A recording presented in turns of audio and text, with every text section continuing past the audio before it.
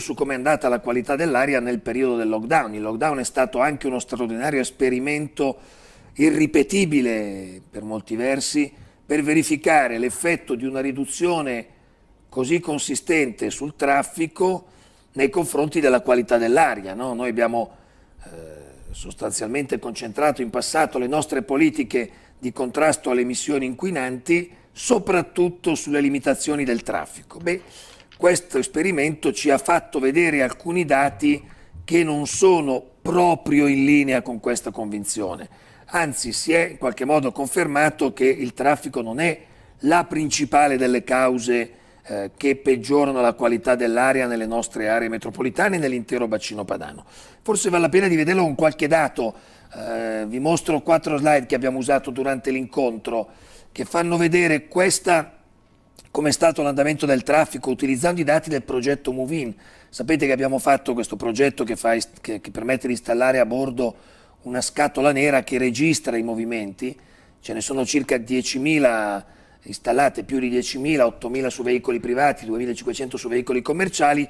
Questo è il grafico che fa vedere in verde per le autovetture, in giallo per i veicoli commerciali come è stato l'andamento del traffico e come vedete fino a febbraio sostanzialmente è un traffico ordinario, poi c'è un buco che eh, si distende per tutto il mese di marzo e di aprile e poi col mese di maggio il traffico ritorna progressivamente, quello commerciale già alla normalità, quello privato verso valori più alti e stiamo ritornando adesso nel mese di giugno alla normalità. Però eh, vedere cosa è successo con un blocco del traffico che ha ridotto le percorrenze fino al 75% in Lombardia, di circa il 70% mediamente nel bacino padano è interessante. Cosa è successo alla qualità dell'aria? Uno si potrebbe aspettare, beh, ridotto il traffico al 70%, la qualità dell'aria migliora di una percentuale analoga. I dati non ci dicono questo, in tutto il bacino padano l'andamento delle inquinanti si è ridotto per gli ossidi di azoto del, del circa il 40%, per le polveri sottili, il PM10, di circa il 14%, meno 70 il traffico, meno 40 gli ossidi di azoto, meno 14 le polveri.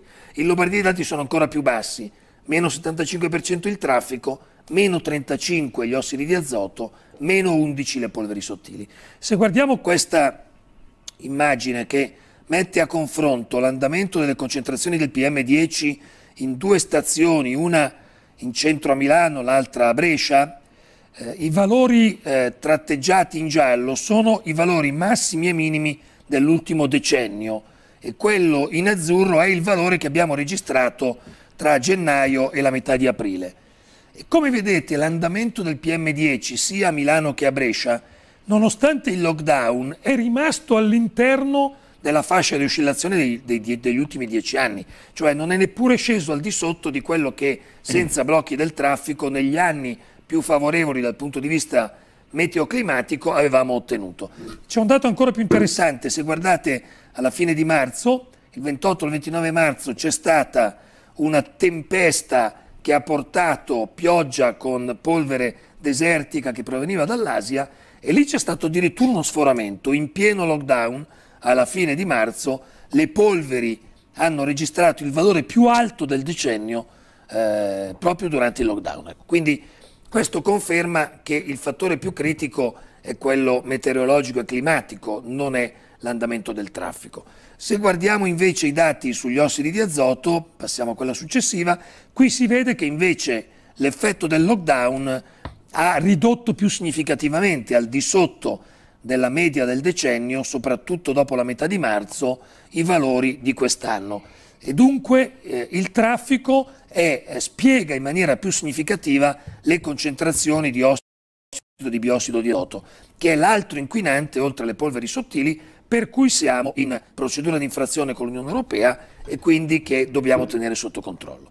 Infatti il valore complessivo, lo dicevo prima, meno 40%, però anche qui meno che proporzionalmente, vediamo l'ultima slide, rispetto alla riduzione del traffico. Questo è l'andamento dal 2011 al 2020, negli ultimi dieci anni a Milano e a Brescia, degli ossidi di azoto, si vede che quest'anno a Brescia, ancor più che a Milano, c'è una riduzione significativa, ma come vedete non c'è un crollo paragonabile a quello che abbiamo visto sull'andamento del traffico.